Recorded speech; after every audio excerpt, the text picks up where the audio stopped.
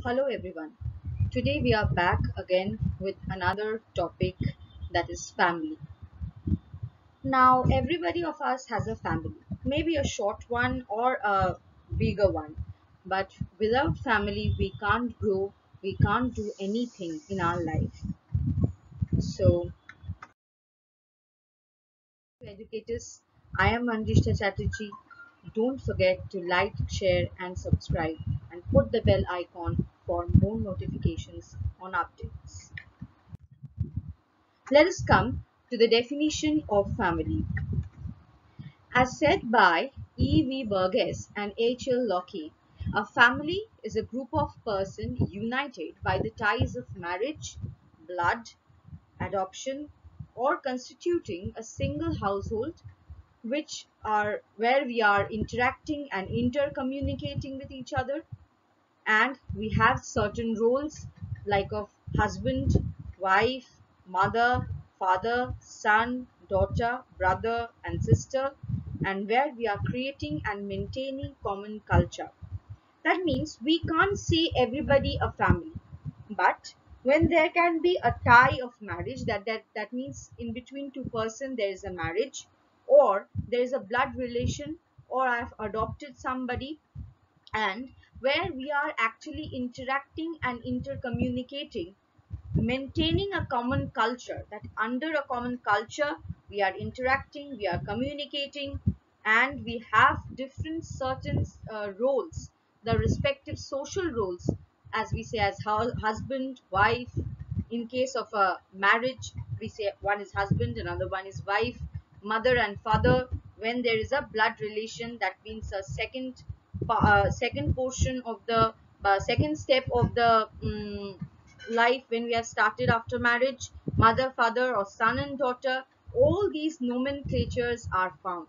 So that is a family. It is not a single person or it is not any group of person but a group of person united by all these bonds and having all these special roles in the community sharing a common culture is a family let us move forward to the elements of family. Now what family consists of? Or what are the different elements of family? Definitely a form of marriage. In the definition only we know, uh, came to know that when a family starts there is a marriage. A bond is created. Okay so a form of marriage a system of nomenclature.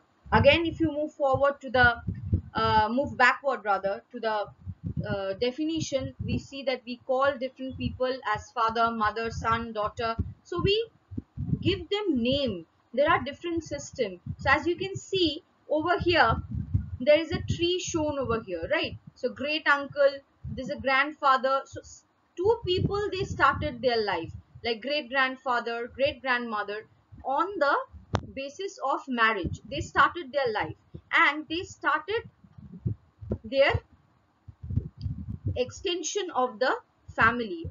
And ultimately nephew niece ne- uh, son daughter then uh, me wife cousin. So each and every part there are a tree kind of thing formed with different names given to the different relationship. And that is what we call as family economic provisions. Now what do we mean by economic provisions? As we can know that there are different people of the family. They provide us with all the amenities like medicine uh, the clothes household when we want to travel when there is food we need a house to stay.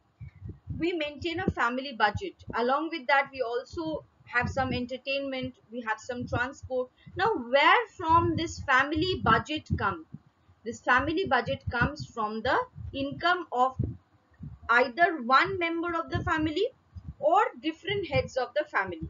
And there is one head who controls the economic provisions of the house. If we don't have this economic provision we can't do or we can't have any of these. So it is a mandate and it is one of the important element of family Next is common habitation. Definitely.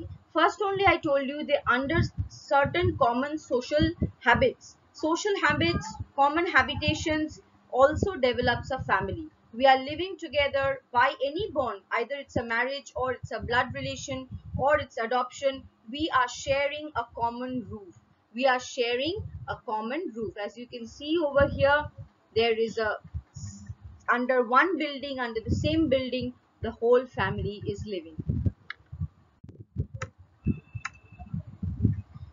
Family creates more or less durable associations. If there is no association that tree that i've shown you in the uh, nomenclature slide that big tree of family would not happen.